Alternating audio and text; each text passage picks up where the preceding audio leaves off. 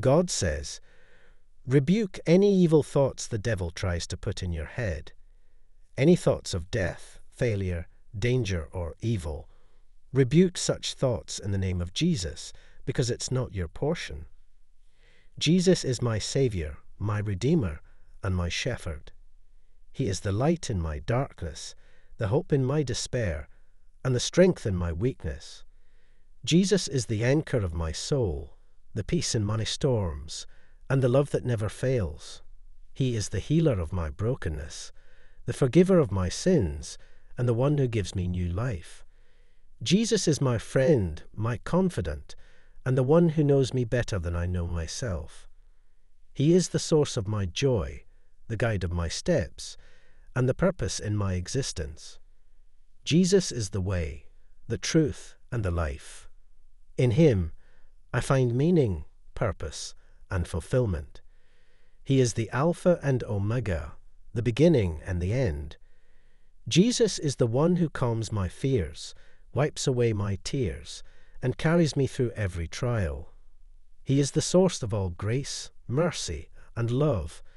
Jesus is my everything, and I surrender my life to him in worship and adoration. I will follow him, trust him, and proclaim his name to the ends of the earth, for in Jesus I find true life and eternal salvation. My Saviour Jesus is my shepherd, prophetic word. In the name of Jesus, your marriage will not crash.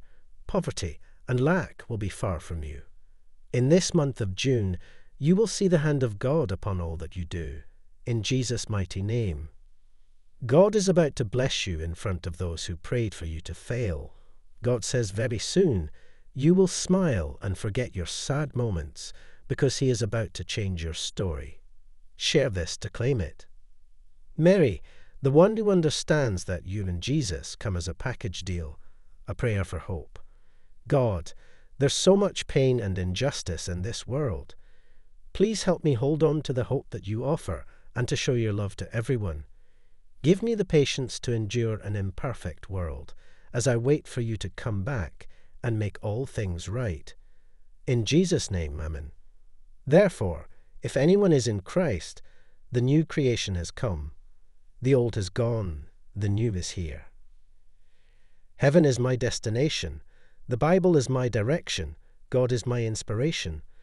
Love means doing what God has commanded us, and He has commanded us to love one another.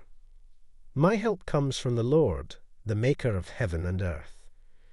Don't let the noise of this world distract you from the voice of God.